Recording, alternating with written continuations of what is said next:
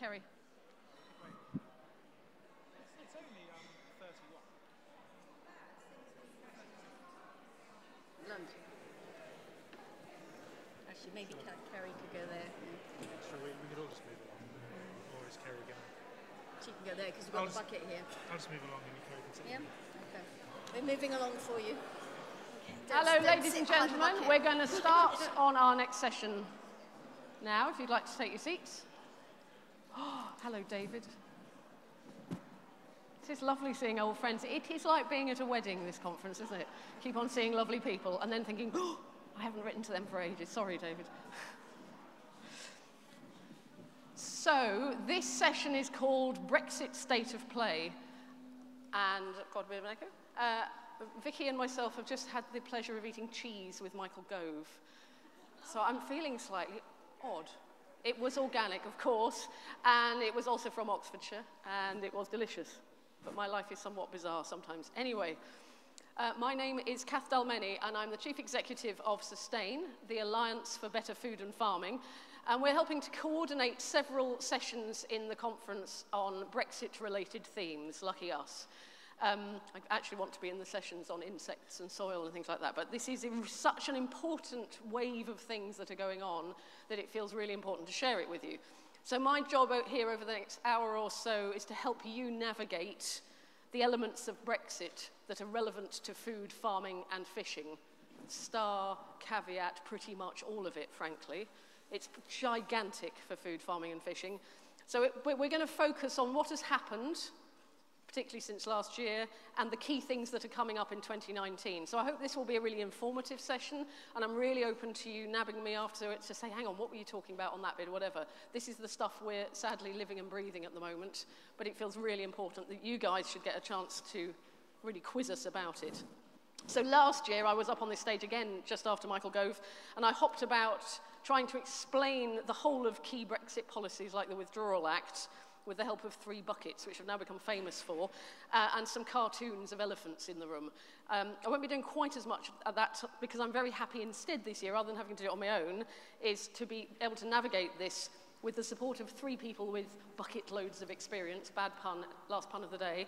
Um, so I'd like to introduce Vicky Hurd in the middle, who coordinates the Sustain Alliance's work on sustainable farming policy. My great privilege has been to sit next to Vicky over the last year or so while she handles phone calls on the agriculture bill and trying to help lots and lots of people navigate and understand what it all means and what we can all be doing together to improve it.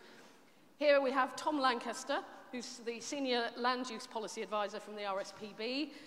We, I hope you won't mind me saying, but we also call you the brain the size of the planet at our office. So, immersed in emerging government policy on the environment, working as part of the Greener UK Alliance. Lots of people are joining together to try and support each other on key efforts. We also have Kerry McCarthy MP. Thank you very much for grilling Michael Gove earlier. Fresh, I've said in my notes from the previous sessions. You're feeling fresh after that experience. Um, uh, and I just wanted to say that I particularly welcome Kerry because of all the amazing work she's been doing to champion agroecology in Parliament and going across party. So we've invited you here not as a representative of the Labour Party, which of course you're leadership person in that, but as part of that uh, e-, ecological movement and taking that truth to power. So we thank you for all your efforts there. So again, anyone who was here from this session last year you'll know that we try and make this as accessible as possible. Most people know a bit about something, but to try and be expert in absolutely everything is really hard, particularly at the moment. It keeps coming at us like a great stream of logs coming down the stream. So we will have a few visual aids thrown in for good measure, but these, if you can't quite see what's written on them, don't worry, I'll explain.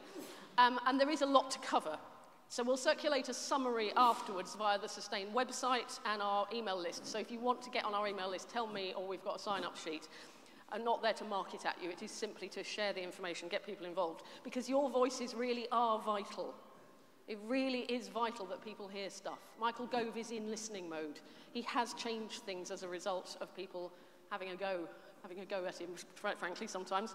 Uh, if you remember from last year, how Jyoti Fernandez took him up on various things. Well, she ended up going into DEFRA and educating some of the DEFRA officials about agroecology and small-scale farming. At this time in history, people are listening, and we must make those voices heard. So if we can facilitate that in any way, we will do so. So, uh, and please do jump in if you feel I've overlooked anything at any point. So uh, let's start on the actual meat in the sandwich. I didn't go to the vegan event, which, whatever you want to put in your sandwich. Um, last year I described working on Brexit policy like navigating in a fog.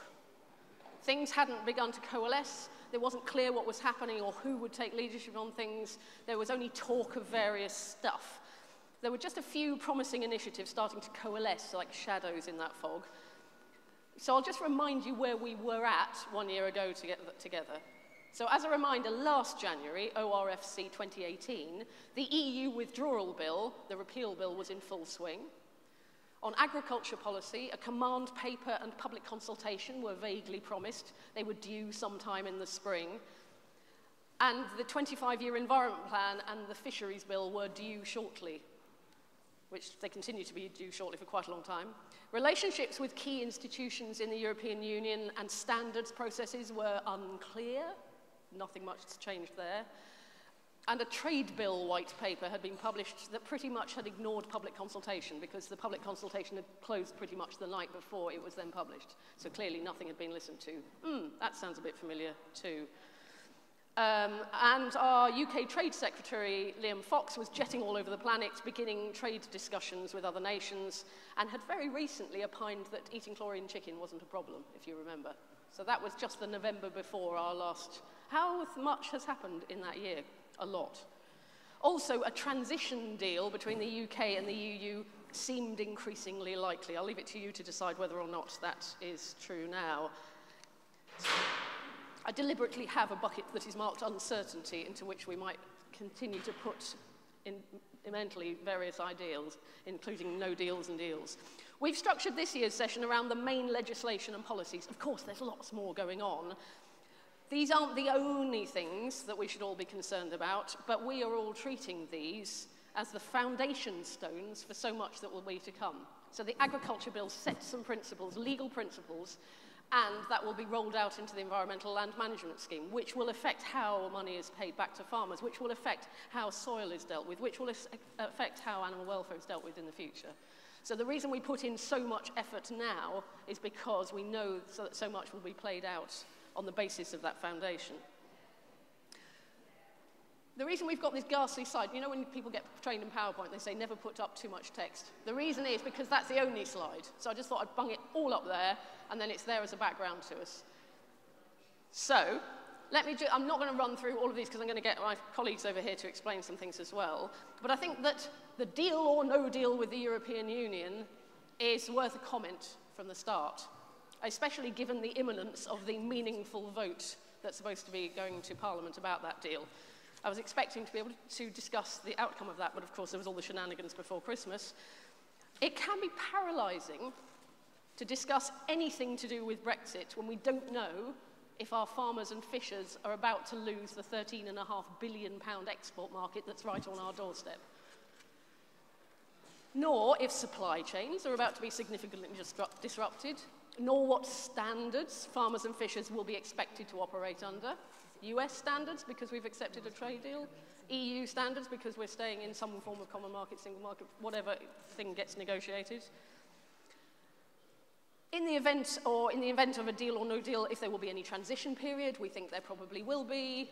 We don't know quite how long that will be. Then there's the transition period for farming into new systems. So lots of uncertainty.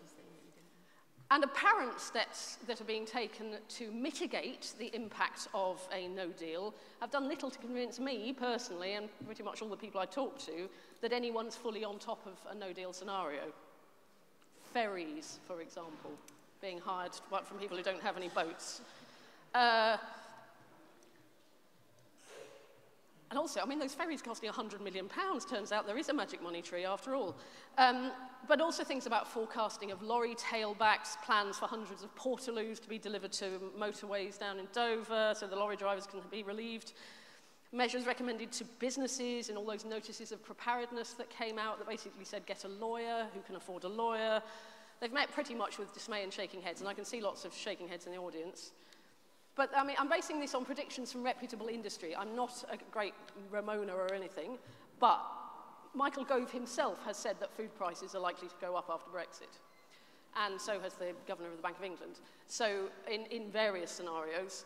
And this is all in the context of a huge rise in emergency food banks. So people are already hungry and already struggling to eat well. I'm going to ask us to park all those thoughts. So I could just stand up here and moan, couldn't I, for another hour. But I suggest that most of them are associated with uncertainty at the moment. Hence, I've got an uncertainty bucket around which no deal and deal, that's what's written on these yellow fan of paper, are sitting. Of course, they'll weave themselves into our conversation as we go through, but uncertainties won't get us very far because we want to talk about the agriculture bill, the environment bill, the fisheries bill, trade policy, where the public money is going, and food policy. So, let me introduce the other thing that will be a strand running through the whole of this session, which is the bucket of cash. There is actually some actual real live cash in this, only a few pounds left over from my lunch. Um, and we couldn't afford a double-decker bus to write the money on, sorry about that, nor indeed a magic money tree. So this galvanised bucket for £1.50 we'll have to do. This represents the money that we will repatriate from European funding programmes. So into it, for example, goes supposedly the £3 billion of common agricultural policy money that is currently goes to UK farmers. Here it goes. Plus roughly another 10 billion pounds, which has been repatriated from several other EU funds that barely ever get mentioned, such as oh, the European Maritime and Fisheries Fund, the European Social Fund, Leader Plus, the Euro European Regional Development Fund. These figures are wild estimates, by the way. I'm going to put circa on the front, uh, because HM Treasury will no doubt want some of that 3 billion back. They've already said so. Everybody's pretty much assuming that will be less. Also, currency fluctuation rates, you know, lots of different things will happen. So these aren't solid figures, and there'll certainly be political pressures over time to reduce those amounts. Hence, you can see, sharp-eyed among you will see there's a hole in this bucket. It's already running out. But there's serious amounts of money to be decided upon. Well, who's, who's deciding that? My colleagues here will be able to comment on some of that money as we go through. And we, what concerns me particularly is, yes, on the 3 billion, there's now an agricultural bill that defi defines public goods, helpful. But for this kind of amounts of money, there isn't any definition of anything. So the roughly 10 billion pounds or so caveat, caveat that's being brought back by government into this country is going into an anonymous bucket, which is somewhere over here, you can't even see it, called the UK Shared Prosperity Fund. With no binding commitment to disperse this fairly, for example, among the devolved nations, nor to areas of deprivation, nor with any sustainability, climate change, biodiversity, social justice, soil, nor anything else signalled as a funding priority. The only criterion we've found mentioned anywhere so far for this very large amount of money is productivity. Okay, so we probably need a new definition of productivity, for which read Vicki Hird's wonderful blog earlier this year, but at the moment, that narrow version of what productivity is is likely to govern it. And the devolved nations are getting pretty cross about all of that because obviously a lot of money will be lost in the process. So I've done you two buckets so far. Where's the other one? Oh, yes.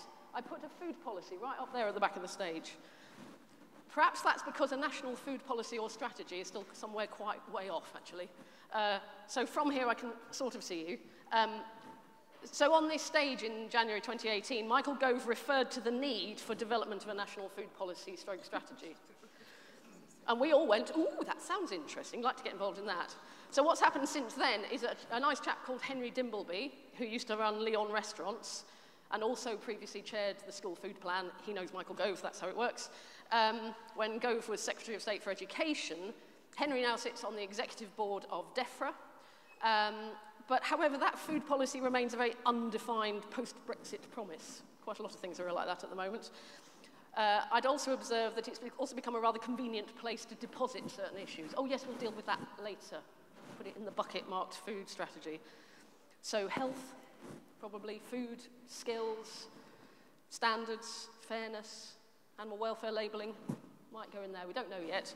Um, So that, that's the kind of thing we get back is, oh, that's not for the agriculture bill, or that's not for the fisheries bill, or that's not for the trade bill, don't worry, it can be in the food policy. L later is a scary word for me. And uh, also what happens is when you put it in the bucket marked later and food policy, you don't get fundamental legal principles, legislation, accountability, budget requirements, accountability, people measuring what you're doing. So we're all interested in not letting vital issues slip past in this way. Later isn't good enough, hence um, my colleagues who are working on now, the stuff that has to be won now. And key legislation that really, really seriously affects food farming, fishing, standards, trade will be set in 2019. And they must be the robust foundations for the future. So, guys who are working on robust foundations for the future, let me come to Vicki. Would you mind doing your bit on the agriculture bill? That would be very helpful. I've uh, Vicki and I've developed some questions. I'll let you get on with them and then maybe prompt some if you haven't covered all of it. Absolutely brilliant. Thank you, Kath, for that. Um, everybody's looking forward to your bucket session again. um, it's a good one. Um, so, very briefly, um, we had a bit of a, um, uh, a run through the timetable, actually, from Kerry and um, Secretary of State earlier. I mean, one thing I could say, you know, in terms of what's happened this year, DEFRA have listened and they've had their health and harmony consultation, 44,000 responses. I'm not 100% sure the final bill, which was launched in September, um, took account of all the listening. Um, but it was interesting to see the ATMPs that spoke in the House of Commons when it was given its second reading. It was really, I have to say, I was encouraged to see ATMPs talking about farming, even though a lot of it was a bit sort of parrot-like, some of it, but there were some really good interventions. Um, but the next phase um, is, uh, it's been through a committee stage, which Kerry was expertly on, and some good amendments tabled, and some of those have been tabled and some others have been tabled for a report stage, which is the last chance in this round for members of Parliament, Commons, to um, uh, have their say and vote on amendments that could strengthen the bill in ways that we, many NGOs, many farming um, organisations want to see it strengthened. But then it goes to the House of Lords, and then it goes into a stage of what is commonly called ping pong, where it goes to House of Lords and Commons, um, probably finishing in late spring, although everything's moved, so it's really hard to tell now. Now we understand the report stage is, um, for the bill is uh, late January. Every, everything's moved um, somewhat um, by the meaningful vote. Um, but you know, it's worth noting that throughout this process so far, George Eustice, who is actually the minister in charge of the bill, has been rock-like in his determination to not have any amendments apart from his own amendments. Um, a lot of amendments are being tabled, there were probing ones, but they, they, he's been trying to be very reassuring, as has the Secretary of State, that everything that they say will happen will happen. Everything we want, you know, lots of it will happen. You know, if you want pasture-fed livestock, it will be supported through the bill. You know, everything you say, you get this reassurance. The, and so it's, it's quite interesting, rock-like in that. Um, what kind of things does it actually include, though, as opposed to what we're being told it's include? I mean, one of the main things that it, it provides a transition phase out of the Common Agricultural Policy, the European Common Agricultural Policy, which currently supports and regulates farming across Europe in a way to, to not allow distortion of trade across the European single market. And that transition is, is effectively sort of nine years. I can't go, I haven't got time to go into the huge amount of detail. Um, but it's till sort of 20, um, 2027 we'll have this transition phase, and that's sort of the bill allows for that. One of the big things that you're all aware of is that it um, allows over seven years the development of a new scheme called the Environmental Land Management Scheme, um, which will support farmers and land managers for delivering public goods. So it's a whole new way of supporting farming so that the farmer um, is a contractor to the public for goods. And those goods are listed in the bill. There's a, there's a long list which um, uh, includes um, oh, top of my head, my head's gone blank, but climate change, um, mitigation, climate mitigation, animal welfare, landscapes, um, natural capital kind of um, things, and environmental protection. Tied in, and increasingly tied in, through a process which DEFRA is developing now on indicators to the 25-year environment plan, which was launched by Theresa May earlier this year. And those indicators and targets in the 25-year plan, which Tom, I'm sure, will talk about, are very um, uh, you know, potentially very detailed and precise and how that ties in with the environmental land management scheme, which is supposed to be much easier, less complex, simple to do, farmer-led. It'd be quite interesting to see how those two um, coincide. But just to finish what else is in the bill, new powers to um, have data collection within the food system um, to allow more transparency, farmers to, to, to get more power within the food system. It also allows um, government to intervene when there are exceptional market conditions, like a massive crash in global prices or a massive climate disaster. They can intervene. It also covers things like marketing standards and producer organisations um, and measures to increase productivity and um, uh, areas like that. Um, but it also, crucially, and very, we're very pleased to see a big clause in there about fair dealing in the supply chain. We've been campaigning for decades, to, and, and many others have as well, to get the supply chain regulated so it gives a, um, a fairer deal to farmers and growers here and overseas. And it was very good to see the, the clause in the bill about fair dealing. But at the moment it's too weak. Um, so, you know, but we are going to be working hard to amend it um, so that it actually is stronger, that it's not just an option to do a regulation so you'd have statutory codes for the different farming sectors um, so that they could, those suppliers buying directly from farmers would have to comply with codes about how they treat the farmer. Don't do unfair contract um, arrangements, don't pay late, don't do all sorts of things which undermine a farmer and grower's ability to actually run a business, which is one of the reasons we get lots of food waste, one of the reasons farmers go under, one of the reasons they can't actually make a, a, a good business. Um, so we want to strengthen that, that clause.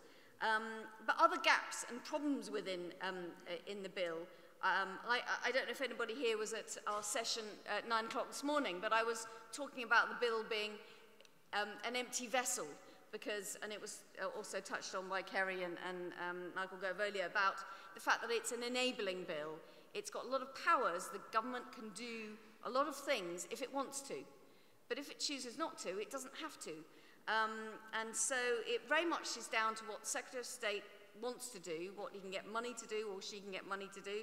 Um, and that brings me on to the second big gap. There isn't really an adequate mechanism to draw down a sufficient budget or an analysis of what budget is needed to deliver on the public goods that you have decided you want to buy from farmers. So there's a you know, multi-annual budget mechanism is what a lot of the amendments that are being proposed now are about. Really need to know how we're going to be securing money so that farmers have the security of knowing that they can invest in different farming systems, different um, equipment, for instance, on farm, um, growing trees, things like that. Anyway, so you need that multi-annual budget. There's also no reference to health, human health. No, um, there's reference to animal health and plant health, but not human health. And given that the Secretary of State, when he came and spoke at a sustain event, agreed with me about four times, was it, Kath, that public health was important. And he said it this morning as well. And yet, says, oh no, it's, then it's about the market and everything. Whereas there's so many ways in which we could be contributing to a public health agenda and outcomes, specific outcomes like obesity, like getting people meet, eating more fruit and fresh fruit and veg, higher nutritional content of food, reduce pesticides, reducing antibiotic use in the environment. Loads of health outcomes we can be delivering on through the kind of schemes in the, in the bill. Anyway, I'm probably going on too long, but agroecological systems as well, absolutely crucial that we get a really specific um, tool to support systems which are whole farm um, uh, systems that deliver multiple outcomes, um, as was discussed this morning, absolutely vital. Other big gaps, new entrants, local food supply, local food chains, research and development, workers not, not covered in there at all. Why aren't workers getting the proper protection they need? They're absolutely crucial asset for farming, and yet they've had their um, means of having a decent pay and work um, conditions taken away in 2013. They've got nothing now, so um, that, that's been neglected. Um, so Kath asked me to say a bit about the 3 billion, that, that 3 billion in, in your budget. Um, it's under huge pressure. Um, most stakeholders, though, are agreed that we need to keep that 3 billion. Modelling by RSPB, maybe you'll talk about it, um, Tom, um, suggests just for our statutory obligations to maintain the kind of nature, environmental protection obligations, we need to have at least, was it 2 billion? 2.3 billion. And that's not loads of other things that really need to come from our um, farm policy. Um, and so yet many people are speculating um, how we will be able to convince the Treasury, the Treasury um, of the need to pay for those statutory or, you know, specific things that we already have now, but all the other things that we need to do. I mean, you know, a lot of our rivers aren't in good condition now, so we need to actually be doing more to ensure farmers can actually invest in systems which protect our rivers. Um, how to pay for these outcomes. There's much talk about that. Um, there's also much talk about getting private companies to pay for these things. And that worries me. I must be honest, that worries me because it lets Treasury, it lets the public off the hook. Um, do, how comfortable do we feel about Nestle paying for water protection instead of us as a, as a community, say, where, wherever it is? That might be the right outcome, but it should be under a framework of public um, control, I'd have, I'd have thought. But there's, you know, this discussion we had. But also, if we talk about public money paying for public, private money paying for public goods, who then owns those public goods? I mean, diff difficult things here, and, I, you know, I think we need to be very careful we don't let the Treasury off the hook. Um, and we need to support um, Secretary of State in demanding the level of um, budget required. Um, and who will receive the money um, uh, ultimately, where, where it will go. Um, will it go to big landowners? Will it go to park, park keepers? Um, it's such an essential part of many farmers' incomes now. Um, when, if it's taken away, when it's taken away eventually, um, there needs to be something in place to make sure farmers just don't um, disappear. Um, but so that transition is absolutely crucial to get right. Um, so in terms of finally, just the opportunity to influence. Um, right now, it's talk, meet, phone, badger your MP in advance, and including Kerry, um, oh, she doesn't really need it, um, in advance of the report stage, which we heard this, this afternoon would be around late January.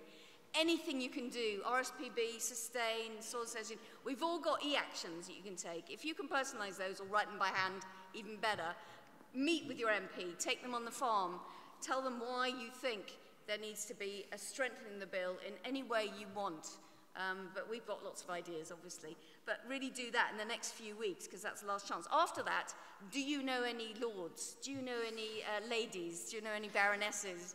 Um, we had a very good meeting in the, in the House of Lords last, at the end of last year with some peers. It was very interesting to hear their thoughts on the um, agriculture bill. They've already indicated officially, and in, uh, you know, we can read about it, that they're really unhappy that the bill actually allows the Secretary of State to do whatever they want. It's not, it's a, the enabling nature of the bill um, is very worrying to them because they want it to be more clear what is going to be done, how to make um, the department accountable for outcomes. And so they're, they're going to come down hard on the legislative side, the dem democratic side of the bill, where it's weak. Um, but the more you can, we can influence the House of Lords, the better. And we'll be trying to do that, but it's obviously a lot harder. I don't know that many Lords, I have to say. Um, but after all this, is, after the bill has actually been published, and then, you know, then it comes back to MPs, so keep talking to MPs. Ultimately, there'll be a lot of secondary legislation, and there are possibly opportunities to influence that, um, and uh, lobbying opportunities. So, um, I think uh, that's probably, you know, it's a huge change. You know, what we're seeing is the first agriculture bill in 50 years. We should have a big say. I was slightly worried this morning when we asked for a show of hands how many people in the room, it was packed room downstairs on the Health and Harmony consultation. There weren't that many people that put their hands up. And I, you know, I think this is your opportunity to really have your say in the nature of farm support the next 10, 20, 30 years. So if, if the OFRC folk don't say, who, who will? They got 44,000 cons consultation responses, but a lot of those were e-actions. So the more personal we can get, the better. Um, I also finally was asked to say something about a no-deal scenario, which is quite, quite tricky. We'll probably still get a bill, um, because we'll need our own means of supporting farming, but I suspect the development of that bill will be delayed and the development of the Environmental Land Management Scheme, which is very much under development now. It's, it's gone to tests and trials, which means they're testing out ways that it can work and ways that it can't work with farming groups, with conservation groups, with land managers. They're doing tests now, and they'll go to full pilot in a year's time. But those, those will all be delayed probably because the no deal we know will be pretty catastrophic. If we actually don't leave the European Union, so we no, no leave, um, that scenario brings us right back to the common agricultural policy. So we'll have to very quickly very quick, well, yeah, I haven't talked about Scotland, Wales and Northern Ireland, which have their own processes, absolutely, should have mentioned them, Pete, thank you for that. Um, all their processes of consultation on their own um, national um, farm policies. But if we don't leave, we'll go back to the Common Agricultural Policy, which is going on, undergoing reform right now. So we will not have much chance to influence that reform because it'll already been more or less passed. Um, but that new Common Agricultural Policy will be implemented in the UK if, if we don't leave. Um, and the way the reforms seem to be going, I'm not following them as closely as I would like. Um, they're going slightly in the right direction, but nothing like as revolutionary as our agricultural bill in terms of paying for public goods. There's a lot of talk, and some of it might be good, but anyway, I, I'm not sure how likely uh, not leaving is, so probably more likely no deal, sadly. So we need to keep on at our parliamentarians. Sorry, is that, is that okay? That is Any brilliant. other Thank you. No, that, you've covered everything beautifully. Thank you very much indeed. As you can see, so much depth even in one subject. So this is meant to be an ice skate across a lot of different subjects to give you a sense of where we're at, but also to help you then shape what you want to grill us on in the future. So now can I come to you, Tom, and say, last January in 2018, we were looking forward to publication of the 25-year environment plan. An environment bill was being mooted. As well as the need for an environmental watchdog with or without teeth, uh, to hold government to account when the UK's links with the European Court of Justice, for example, are severed. So can you share with us your thoughts on the same sort of questions as Vicki? Yep. Um, so there's definitely some people in the audience who know this stuff better than me, so do holler if I get anything wrong, because um, agriculture is my day-to-day rather than sort of environmental governance issues. But I'll just start briefly by setting out the issue because actually some of they, even the issue itself is quite impenetrable, let alone following progress on the issue. Um, so the European institutions and, and the European sort of legislative framework provides the entire framework for environmental legislation, uh, both in terms of um, the rules that we follow and then how those rules are enforced. Um, so we have been focused on three broad areas in our advocacy around the environmental sort of legislative framework. So there's this idea of the governance gap. So even with the Withdrawal Act, which basically copies and pastes a lot of that environmental law into UK law, even with that Withdrawal Act, you lose the governance provided by the European institutions, particularly the European Commission and the European Court of Justice. So the European Commission has sweeping powers to enforce EU law and hold governments and public bodies to account. Uh, they can levy fines, start processes called infraction processes, which can lead to unlimited fines for unlimited periods of time until the situation is resolved. And the European Court of Justice can require routes to remedy, so they can require that problems, environmental issues, are remedied by the government or public authority and anyone, any citizen, any one of you can take a complaint to the European Commission and they will take it up if they think it's merited. So none of that would exist even with the Withdrawal Act. So that's a huge governance gap, is what, is, is what it's called. The second issue is around principles. So you've got the polluter pays principle, the precautionary principle in European law. None of those exist in UK law. At least they're not operable in UK law. Uh, and the third issue that we've been pushing around, and this is really where we're trying to build beyond where EU law goes currently, is around targets. So there are some targets in EU law, such as uh, a target in the Water Framework Directive to meet good ecological status for all water bodies by 2027, which the UK is nowhere near meeting. Um, there are targets around favourable conservation status for birds and habitats directives and things like that. But what we're pushing for is a much more comprehensive suite of targets across a whole load of environmental issues. So those are the three things we're calling for. Uh, in terms of progress against each of those, there has been some progress made over the last year. It has probably been like getting blood out of a stone. so the 25-year environment plan was published in January. There was some good ambition there, um, but it was really just that. It was ambition. It was a strategy. It had no legislative underpinning at all. Um, there was then the Withdrawal Act, um, or rather government committed to uh, an environmental principles and governance bill to address some of those principles and governance issues, and the consultation on that was published in May, and that was very weak. So in particular, the governance arrangements, the strongest uh, enforcement action a new governance body could take against the government was to issue advisory notices only. So it was literally a letter sent to government saying, you're not doing this very well, and the government could have just turned around and said, thanks, we know, go away. Um, during that consultation, the Withdrawal Act was passed, and environmental NGOs and others managed to get an amendment passed to the Withdrawal Act, which then required government uh, to bring forward proposals for a new governance body and a policy statement on environmental principles that actually went much further than the current open consultation. So it was a very weird process whereby newly passed law overtook currently um, open consultations. So that was last summer. And then just before Christmas, the Environmental Principles and Governance Bill was published. I think it's fair to say it's a mixed bag. Um, so on principles, it's weak. They're on the face of the bill. Um, but there is no overarching duty. Uh, there are huge get-outs, so just reading from my colleague's very useful briefing here.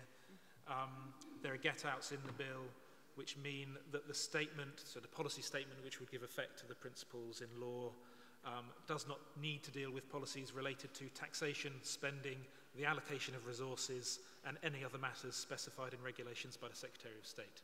So, effectively, as written at the moment, all environmental principles as they apply to policy making in the UK could be disregarded. Um, so that's a big area that we will look to improve uh, as the bill under, undergoes pre-legislative scrutiny. Um, on governance, the Office for Environmental Protection is stronger, so that's the name of the new governance body, uh, is stronger than we expected it to be or feared it might be. Um, for example, its remit will cover all public bodies, so Natural England, for example, not just DEFRA and core government departments. Um, but there's still lots of concerns about its independence. Um, uh, for example, it can't levy fines in the way that the European Commission can. Um, and its budget and its uh, executive body is appointed by the Secretary of State. So although it reports to Parliament, it's still very much at risk of being uh, hobbled in the way that a lot of other environmental organisations have been hobbled by DEFRA to date. Um, Interestingly, the withdrawal agreement, which is another thing that may happen or, or may not happen on the 14th of this month, um, actually specifies level playing field provisions in the backstop, which go much further than even these proposals on governance. So it's a constantly moving and evolving situation. Um, and this is, this Environmental Principles and Governance Act is a draft bill that's been subject to pre-legislative scrutiny. So there is an opportunity now to push for much bigger improvements. So we, we've seen the colour of DEFRA's money, if you like, and we can now push for much bigger improvements, particularly in the context of the withdrawal agreement if that's passed. And on targets, there is very really, there is not, not really anything in the bill on targets. Um, so that is the one area, to be honest, it's not something which they committed to, and they're not committed to doing it in the withdraw withdrawal act.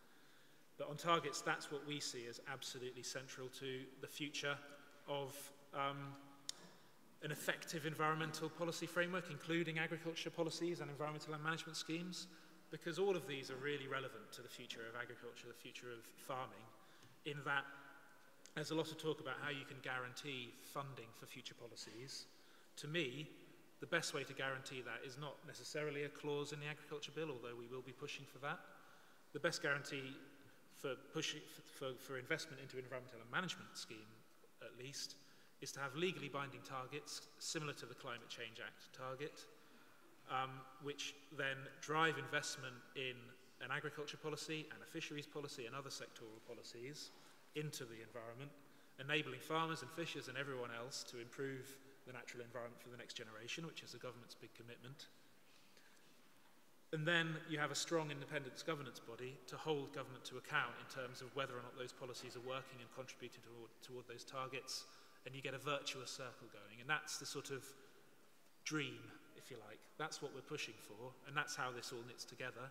And the principles are obviously relevant as well because you've got things like the precautionary principle that are hugely relevant to the regulation of pesticides and other chemicals, the polluter pays principle, which is relevant to agriculture's impact on the water environment, for example. So all of this does knit together. Um, in terms of the funding, I think, you know, we probably do need 3 billion. As Vicki said, we've done some work to quantify just what environmental objectives would need, and it's about 2.3 billion, and it probably is much more than that. Um, the other EU funds that you talked about, Kath, you know, the European Regional Development Fund has actually been really important in funding green infrastructure, particularly in urban areas.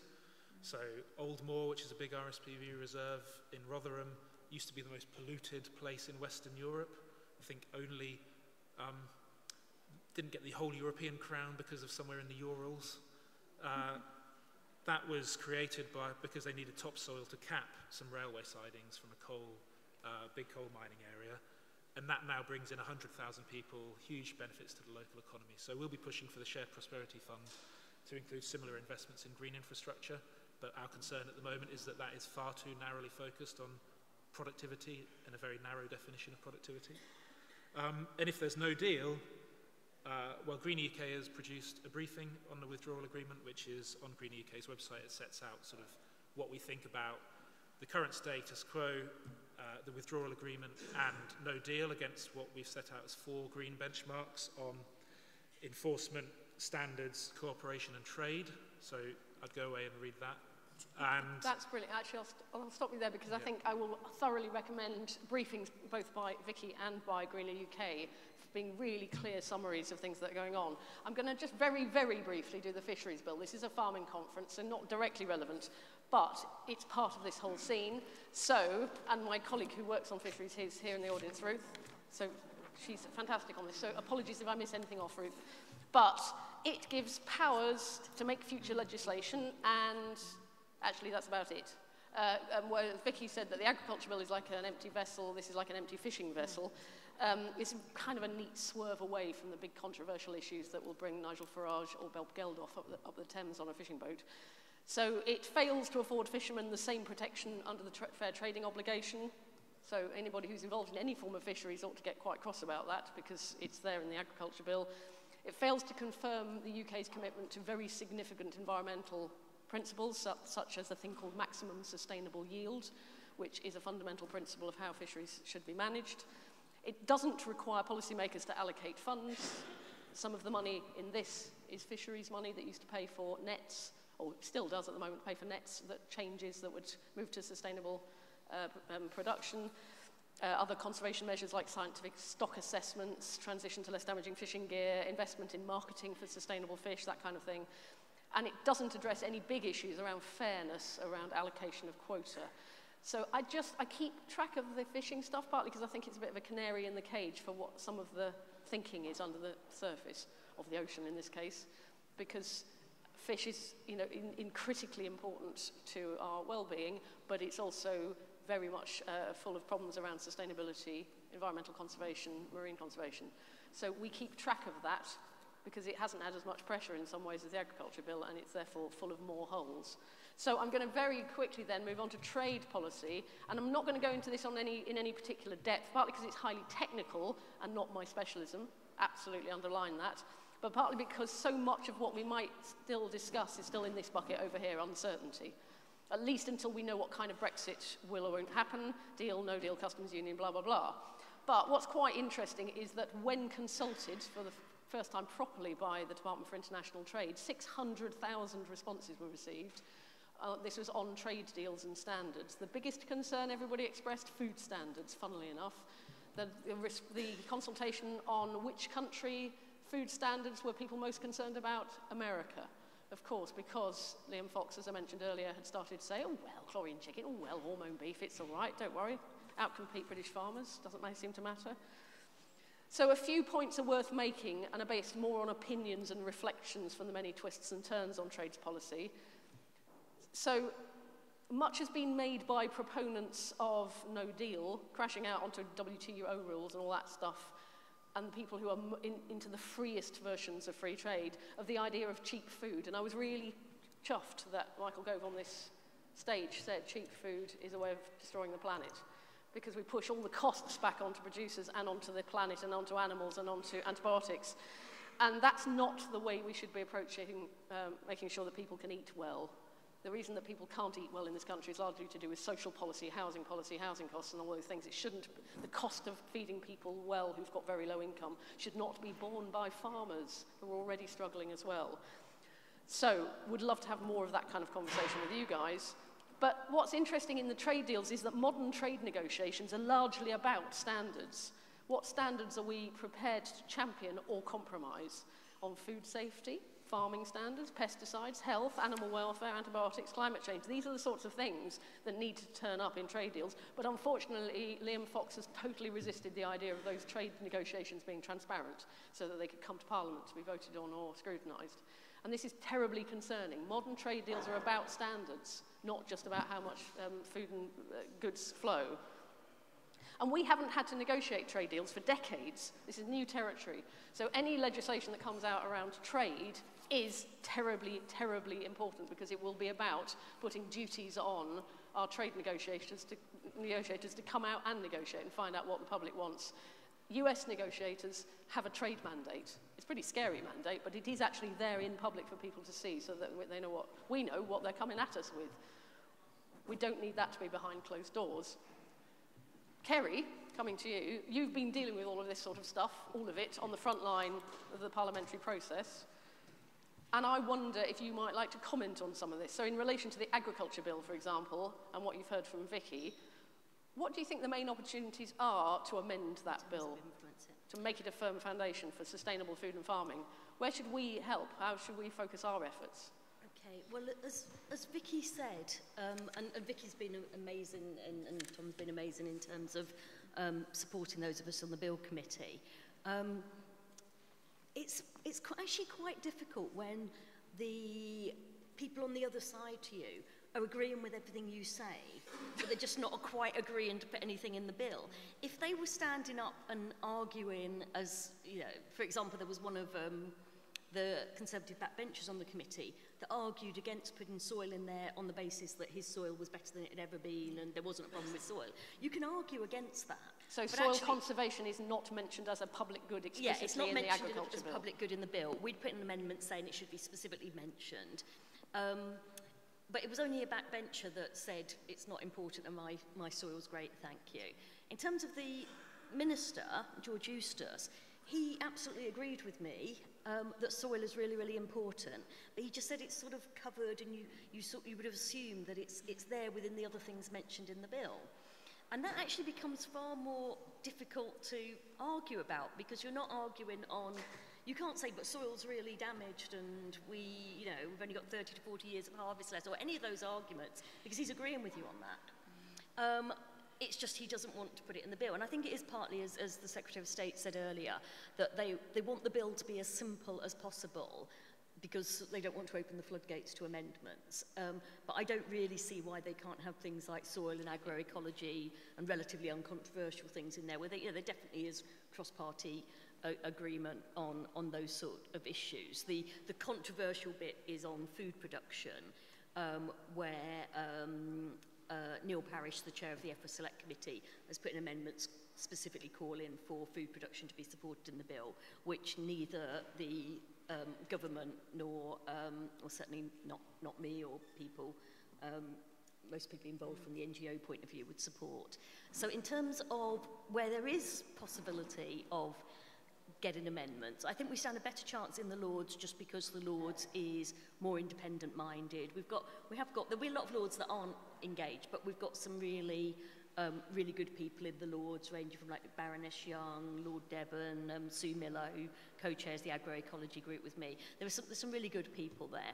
And um, they will, as you say, particularly be interested in the constitutional point, so the idea that it gives powers rather than duties. So I think we can make some progress there. In terms of the Commons, um, I've got an amendment in on agroecology. The difficulty will be in that is, to be frank, Um, and we have been having quite a few emails through, and I love getting those emails because they're saying, will you sign this amendment? And I can just go back and say, if you look at who tabled the amendment, that's kind of me. So, so, you know, it's quite an easy one to reply to. But um, most MPs won't be that engaged. I mean, certainly agroecology's got a much higher profile in Parliament. The all-party group has been doing what it can to promote it amongst MPs. Um, but we will really rely on um, people emailing their MPs about the amendments to raise awareness of, of that. The one that I think has most chance, or certainly will be most controversial, and the government is probably most worried about, because actually if agroecology goes in, I don't think they'd be that bothered. I think it's just more, like you say, they're just holding firm against anything. But on the trade deals, um, there is, I've, I've got in new clause one, which is basically saying no lowering of standards in post-Brexit trade deals. So it's not just no lowering of British standards, it's not allowing lower standard produce to come in, undercutting British farmers. Neil Parish has now put in one on behalf of the EFRA Select Committee. And that is good because it shows it's not just like the usual suspects on the green front. It is actually the traditional farming end of things as well. And I gather that when Michael was at the other conference down the road this morning, he was really pressed on this issue. So it is an alliance between um, basically anyone who doesn't want to see cheap, substandard food come into this country, and that includes the NFU as well as the environmental groups. And there were Tory MPs that said during committee stage that although they wouldn't vote with me in committee stage, um, Simon Hoare, for example, who's a Dorset MP, he said he would support it when it came to the floor of the House, and there were a few others that said that. He actually made a very good speech. So I think that one, and because you know, you've got everybody from the Daily Mail and so on. There's, there's, it's very easy to engage people's minds when you come to talking about things like chlorinated chicken, hormone pump beef, in a way that perhaps it's not so easy to do if you're talking about integrated pest management mm. or carbon sequestration from soil. Tom obviously finds it all very fascinating. but, um, so I, I think there is scope. We don't know, yeah, the caveat to all of that is that um, we don't even know for certain, as far as I know, that the government is going to bring the meaningful vote back in the second week of January. All we know is that we've been told on the Wednesday, Thursday, and I think the Friday next week, we will start debating it again, because the debate was curtailed after a few days last time. But we haven't been given the parliamentary business for the following week. So it might be that I think it just depends on whether they think they can get a deal through, whether the vote is brought forward or whether there needs to be more trips to Brussels. So the report state none, the government can't bring forward any controversial legislation um, until they've sorted out that deal. Um, just before Christmas, um, the, the Tory rebels, if you like, went on strike um, and didn't back some, the government on certain amendments to other legislation. If Labour had known, we'd probably put in loads and loads more amendments, but they basically just down tools. Um, And there's a real danger that if they were to do that on the agriculture bill, mm. there'd be a problem, which is why yeah. there's this backlog. Um, so, but, Can yeah, I ask you a question now about, um, I didn't put any elephants in the room this time because yeah. lots of the things seem to be now out and running in a way, but there is one big elephant in the room, which is HM Treasury. Yeah. So, you know, we're, we're being told that there's a very strong likelihood that this will just be put into a bucket marked productivity. Yeah. And we don't think all of this money for, from cap money will survive the process. How do we influence Treasury? It's really difficult, and I think um, EFRA's had battles with the Treasury on things like its waste and resources strategy as well, and they seem particularly resistant to the idea of targets because that sort of commits people to actually doing things, which then means that budgets have to be allocated to doing things. Um, it's, I suppose the question would be, I mean, I suppose the problem is, what are we actually asking the Treasury for? So if you're asking the Treasury to tax something, or to give a specific pot of money? Is, is the ask to commit to giving exactly the same amount to farming, you know, in real terms as we currently do under current arrangements? You know, is that the ask? And then I suppose the question would be, when, where do you do that? Because do you do it as part of the spending? It's not really, you know, farming subsidies aren't really part of like the departmental allocations in the same way. and you don't really have that opportunity. You know, do you see what I mean? If the, if the Chancellor's bringing forward a budget, you can lobby for a three pence cut in beer duty or something like that. That's quite easy to do. But when you're talking about future departmental spending plans in the long term, when they don't commit in the long term, that's quite difficult. So, so there was one amendment, again, which the EFRA committee is supporting cross-party basis um, on multi-annual budget, so a, a firm financial framework to give farmers a bit more certainty. But I think it's very difficult to get, they wouldn't, they'd be very likely to ever say that they're given a certain amount of money. Yeah, absolutely. Yeah, the spending I, review I think is, is due this coming year. So, yeah, there can be pressure then, but it's, that's not really the time scale. Spending review is three years. That's not really the time scale we're talking no. about in terms of yeah, it's, it's funny, every payments. time I hear something like this, I think of that phrase, taking back control. It turns out taking back control is a quite messy, and that certain people go, ooh, nobody knows how this works, so I'll take control of it. Uh, not necessarily always on our behalf, but sometimes. Yeah. So um, thank you again for all the efforts that you make in trying to get, get, let more of us be in control of this stuff.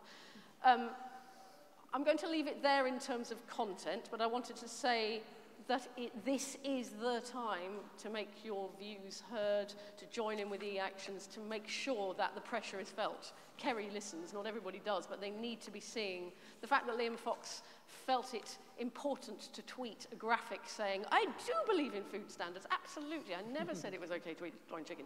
That kind of thing, it, it comes from a real sensitivity to the mood that's in the nation. And the fact that in the 600,000 trade responses, trade consultation responses, food standards was the key element. I think we have to keep on making those voices heard. Obviously, that might have been a quite a narrow thought on food safety, but I think people do are concerned about provenance, about the future of British farming, about the environment, about birds. By whatever means we come into this, we must make sure that people hear.